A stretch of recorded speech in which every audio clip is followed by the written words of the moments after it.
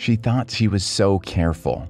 She even typed it on the computer so her handwriting couldn't be identified. Her mind raced to think of a way out of this. But before she could say anything, the principal spoke. We know about the letter you gave Nathan, and it's too late. Her life was about to be changed forever because of a few simple words.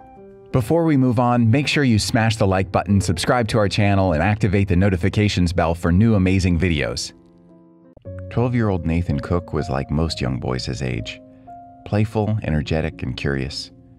He loved adventures and exploring. He was a very inquisitive kid and loved talking to people. He was also very friendly. Nathan's mom, Dee, had a hard time teaching him about the danger of talking to strangers, as he naturally trusted everyone. She was watching him for a while now. As she drove, she paid attention to what he would say and how he would act. She couldn't help but stare and wonder at how he behaved. Nathan got the bus to school every day. He'd board the bus with other kids from his neighborhood and return from school the same day. Nathan had the same bus driver on most days. Sometimes they changed, but mostly it was Martha. Martha had been bringing kids to school for the past two years. She loved her job, and she loved kids. Nathan had formed a close bond with her. But little did he know that as he rode home from school that day, he would never share another bus ride with her again.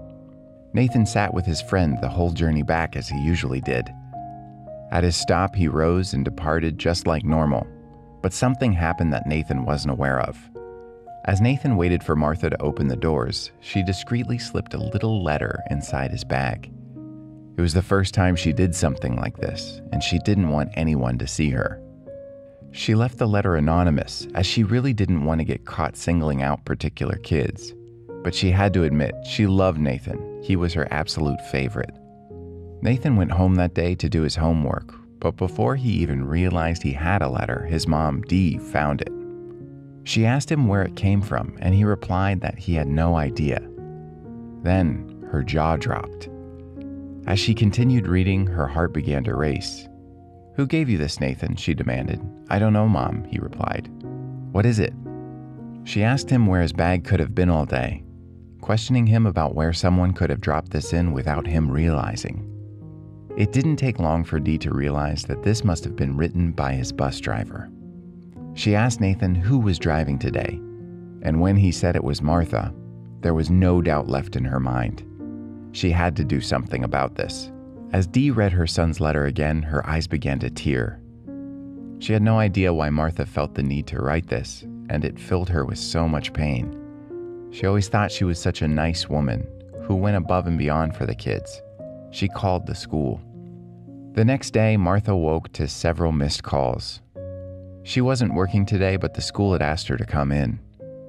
There was something urgent they needed to speak to her about. Confused, Martha put herself together and drove to the head office. She entered the office to find the principal, some other board members, and Nathan's mom, Dee, present. Dread rose in her stomach as she began to panic. She even typed it out on the computer so her handwriting couldn't be identified. Dee stared at her with piercing eyes as the principal told her that he was made aware of the letter she gave Nathan. Then, he gave the floor to Dee, who spoke with a gentle voice. This was only the third time they met, so Dee felt the need to introduce herself again. I took the liberty to organize this today, Martha. I received your letter. Before you say anything, I know it was from you. And I want to be here to see the look on your face when you hear what will happen next. Dee said. The principal intervened again to tell Martha that she would no longer have to drive buses, as she had been promoted to manager of overlooking all transportation within the school.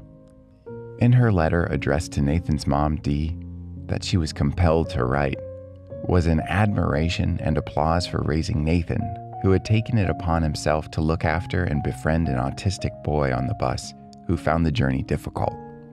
She wrote that she watched him be gentle, kind, and patient with him while all the other kids ignored him and even would make fun of him. She wrote that he had a heart of gold that was only possible with great parenting. She then continued to detail her own struggles as she was younger and how she would have loved parents like them or a friend like Nathan. Dee was so overwhelmed with her surprising anonymous letter that she just had to find out who it was and express her thanks. Parenting is tough, so it was a much needed affirmation for her. But when she put two and two together and figured out it was Martha, she just wanted to make sure the school knew of her good deed. However, when she rang, the school had a plan of their own. After she explained what Martha did and the hardships of her past, she asked for some recognition for this woman that kindly and graciously looked after all these kids. But the school mentioned that this wasn't the first time they received a call like this. In fact, they heard amazing reviews for a while and already planned to give her a promotion.